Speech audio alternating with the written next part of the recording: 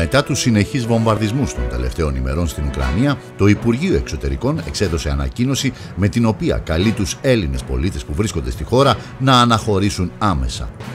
Δεδομένου ότι η κατάσταση ασφαλείας στην Ουκρανία συνεχίζει να είναι ρευστή και επισφαλής, το Υπουργείο Εξωτερικών επισημαίνει ότι όσα αναφέρονται στις ανακοινώσεις του από 14 και 22 Φεβρουαρίου 2022 συνεχίζουν να ισχύουν, αναφέρει αρχικά το Υπουργείο Εξωτερικών στην ανακοίνωσή του και προσθέτει. Στο πλαίσιο αυτό, το Υπουργείο Εξωτερικών εξακολουθεί να αποθαρρύνει έντονα όλα τα ταξίδια στο σύνολο της επικράτειας της Ουκρανίας. Παράλληλα, συνιστάται στους Έλληνες πολίτες που βρίσκονται στη χώρα να αναχωρήσουν από τη χώρα άμεσα.